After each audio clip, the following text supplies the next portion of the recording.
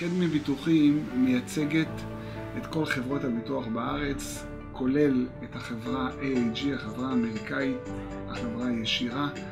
אנחנו נותנים מענה לכל ענפי הביטוח, לכל סוגי המבוטחים. אה, אנחנו במשרדנו נמצאות שתי עורכות דין, עורכת דין אה, ריבי עזרא בוים ועורכת דין סיוון וולטר שפנוב, שתיהן מטפלות בנושא של תביעות.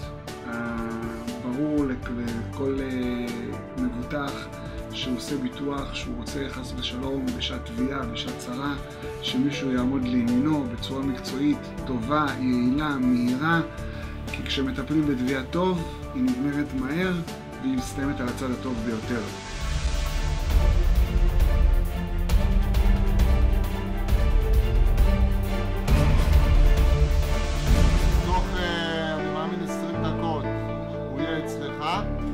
עכשיו אני אחייג אליהם, אני אעלה אותך בוועידה, בסדר? וכמה רגעים הם יחזרו אליך וייתנו לך את כל השירות.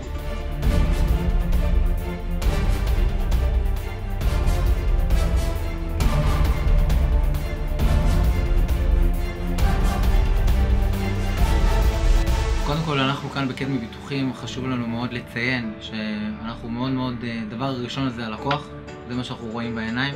החברה היא באמת, אנחנו מתווכים בין הלקוח לחברה ומה שחשוב זה שאנחנו באמת מבררים ובודקים את הצרכים המדויקים של הלקוח שלנו.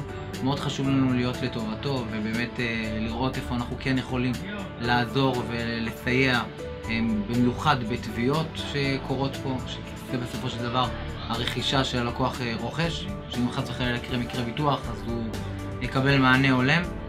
אה, יש הרבה דברים בתנאי הפוליסה שלקוחות לא בדיוק יודעים אותם, אה, שהם בעצם חריגים, כל מיני דברים שנופלים בין הכיסאות בזמן תביעה, ואנחנו פה כדי להיות המוקצוענים ולראות את הדברים האלה לפני שמגישים את זה בכלל לחברת הביטוח. במחלקה שלי יש 11 עובדים שמתמחים בתחום הזה.